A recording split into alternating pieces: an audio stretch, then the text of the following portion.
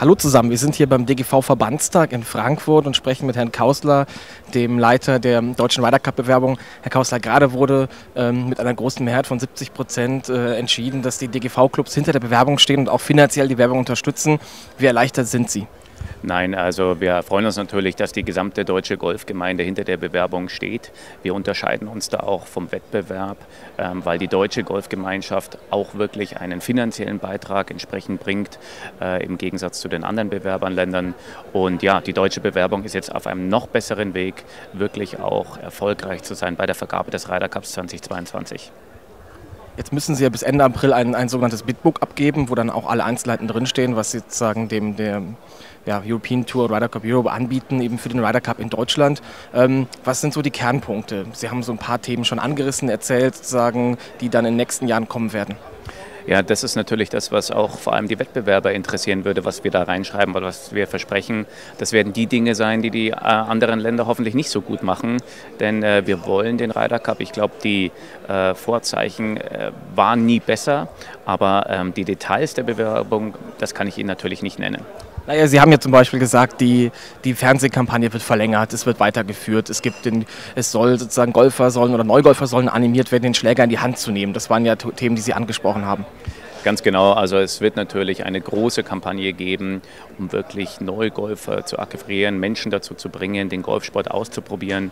Ähm, wir sind äh, in Deutschland mit rund 720 Clubs viel besser ausgestattet als andere Länder, aber haben da noch Kapazitäten und deshalb ist Kern der Bewerbung natürlich, möglichst viele neue Golfer zu akquirieren. Jetzt haben Sie auch gesagt, äh, Teil der Kampagne wird auch sein, ein Challenge Tour Event ähm, eben auf deutschem Boden zu veranstalten. Heißt das, dass es das jedes Jahr geben wird oder wird es das einmal geben vor dem, vor dem Ryder Cup? Nein, das wird äh, so sein, dass im Falle des Zuschlags für den Ryder Cup 2022 wird ab 2016 ein äh, Challenge-Turnier äh, der European Tour auf deutschem Boden stattfinden, aber dann auch jedes Jahr und natürlich nicht nur einmal. Ganz andere Frage, gibt es eigentlich ein Mitspracherecht dann bei der sozusagen Vergabe des Ryder Cup Captains für, das, für den Austragungsgastgeber? Äh, nein, das gibt es natürlich nicht, sondern das äh, entscheidet der Sport äh, selbst. Da gibt es ein Gremium, das darüber entscheidet. Ähm, ja, aber ein deutscher Golfspieler würde uns natürlich schon gefallen als Kapitän, ganz klar. Dann müssen wir die Kampagne weiter anrunden, auch in der Jugend weiter Gas geben, dass sozusagen da sich einige vielleicht qualifizieren. Ähm, wie sieht es denn aus mit der Unterstützung sozusagen aus dem Bereich abseits des Golfs? Anderer Sportbereich, Politik, wie, ist es da, wie sind Sie da bislang unterwegs? Ja, wir haben eine breite Unterstützung jetzt natürlich von der Politik auf Bundes- und Landesebene. Äh, die Bundeskanzlerin äh, hat uns ein Unterstützerschreiben ja schon vor mehreren Wochen zukommen lassen, wo sie den Ryder Cup auch entsprechend vollumfänglich unterstützt. Und ähm, auf der politischen Ebene muss man ganz deutlich sagen, hat sich vieles verbessert im Vergleich zur Bewerbung vorher. Man hat hier den Dialog aufrechterhalten und wir haben die wirklich vollumfassende Unterstützung aller notwendigen Ministerien und Bereiche und sind da auf einem sehr guten Weg. Wann wird es die finale Entscheidung geben?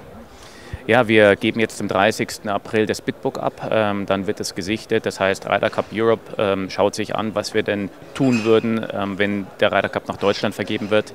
Aus diesem äh, Bitbook wird dann ein sogenannter Host Nation Contract, also wirklich ein Vertrag gemacht, was Deutschland denn tun würde, wenn der Ryder Cup nach Deutschland vergeben wird. Und wir rechnen mit der Entscheidung so im Oktober oder November. Dann wünschen wir auf dem weiteren Weg viel Erfolg, gutes Gelingen und hoffentlich den Ryder Cup dann 2022 in Deutschland. Ja, das würde uns freuen und wir werden alles dafür tun, dass der Ryder Cup 2022 in Deutschland stattfindet.